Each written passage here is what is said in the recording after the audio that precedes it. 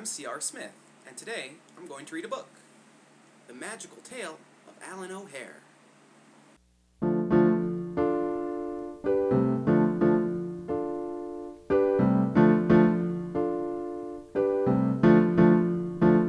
On a warm, sunny day, Alan sat neath a tree. As often he spent his time, he found free. And he said, I am bored, that's the trouble with me. So he rose from his perch with his hand on his knee. And as Alan stood up, he said, I'm tired of resting. I'd rather spend time on adventurous questing. For up until now, my life has been plain. I've spent all my time in ways much too tame, and I simply cannot have more of the same. But what is a lonely young rabbit to do? Alan said to himself, I have not a clue. So he stood there, scratching his rabbit ear head, and he took a long pause before in the mountain, far off in the distance. I can get there, I bet, with no help or assistance. Surely adventure is there to be had, a great new adventure for this little lad. I can get there, I bet, in just over a day. I'll need a sleeping bag and tent to stay overnight, and a lantern for light, and perhaps I may just might need a rope to help me get over a slippery slope. Oh, and some food and some water indeed, a carrot, a plum, and a sunflower seed.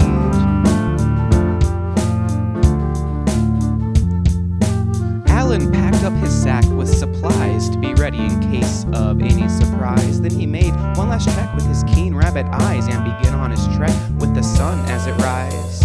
I'm so excited, Alan said as he started to see all the lands that nobody has charted. And with all this excitement, Alan hit the ground running and he yelled out with glee, Tell the world that I'm coming.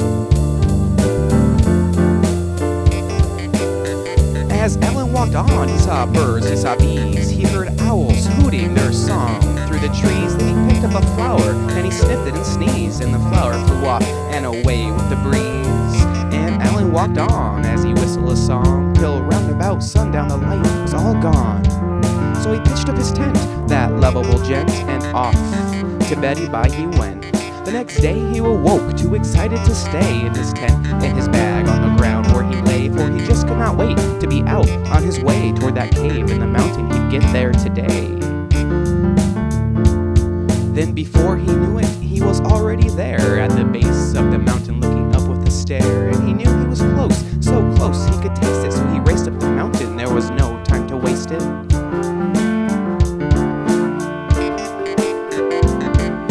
Up, up and up, he hiked the trail. He hurried and scurried his tail up the trail just as fast as he could. By now, he was running, our blue little rabbit, impatient and cunning, soon found himself peering deep into the cave and telling himself, I need to be brave.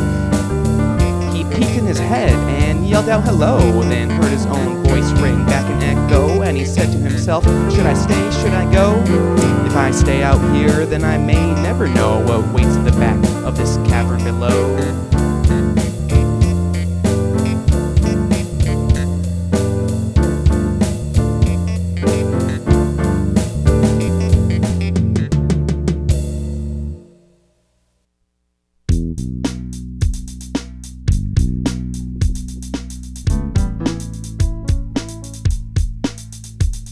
He took a step in. It was dank, it was dark. He took out his lantern and gave it a spark, which lit up the walls of this old dingy hollow, revealing a new path that now he could follow.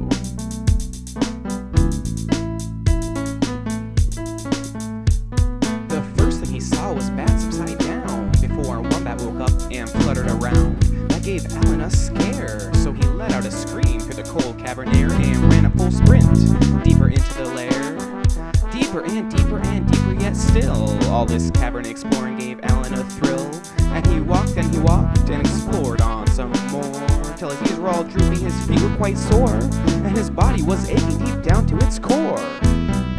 After he walked for what felt like a day, Alan said to himself, There is simply no way I can go on any longer. My poor back is sore and I wish I was stronger. So he stood there a moment to quietly ponder if he should go back or go forward to wander. And that's when he saw it. It shimmered, it shined, a lamp he had never before seen of this kind. A lamp that was waiting for Alan to take. And as soon as he did, the earth started to shake, and the walls of the crumbling cavern did quake. I need to get out and out of here fast, or Alan O'Hare becomes a thing of the past. So he snatched up the lamp and headed to safety. Then, right in the nick of time, he was safely outside in the sun.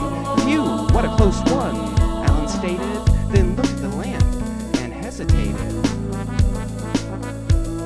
When he rubbed off the dirt, a hidden surprise, a genie was floating in front of his eyes. My name is Genie, Genie said with a smile. Unlimited wishes, and I grant them with style. Now tell me, young rabbit, what wish do you seek? What wish can I grant from on top of this peak? Hey, Genie, old boy! Alan shouted with glee. Now what in the world do I want? Let me see. First, take me home. I've walked quite enough, but make it a mansion that's filled with cool stuff. A mansion is good, but a castle is better. I want a gold watch that's the shiniest ever. A crown with some rubies, a throne for a chair, an elegant scepter. Wait, make it a pair. And that's not all. I want even more yet. I would not hesitate to bet that I can wish for more, more than ever I've had before. And what's more, I wish for a boat in my moat, a winter sleigh and heavy coat, a hot air balloon so I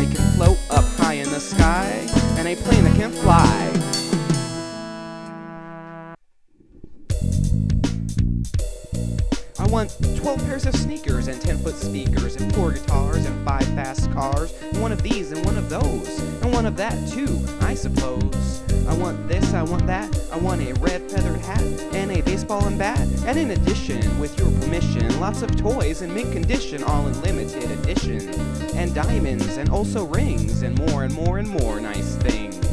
Then, as Alan kept wishing, a pile grew high, a pile of stuff soaring into the sky, and he kept adding stuff and more stuff and more stuff that he filled the whole valley from mountain to bluff. And when one day that pile just happened to fall, who should be stuck at the base of it all? Why, Alan O'Hare. And he said to himself, This just isn't fair.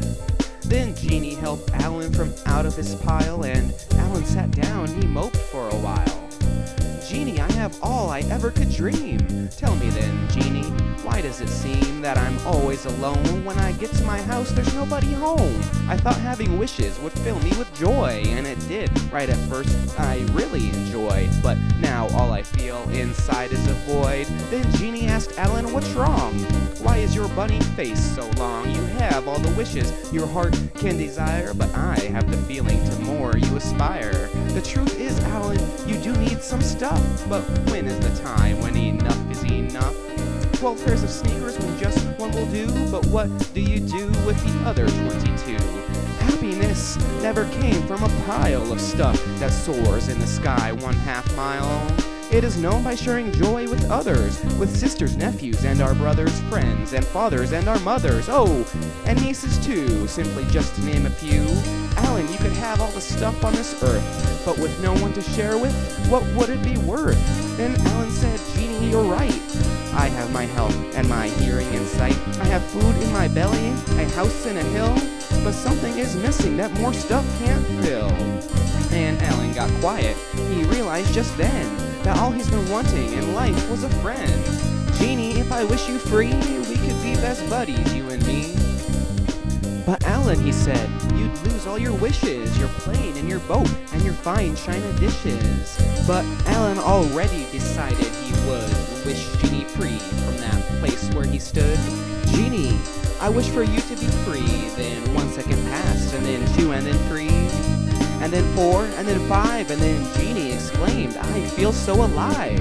Thanks, my friend Alan, for wishing me free. You're the first friendly face I ever did see.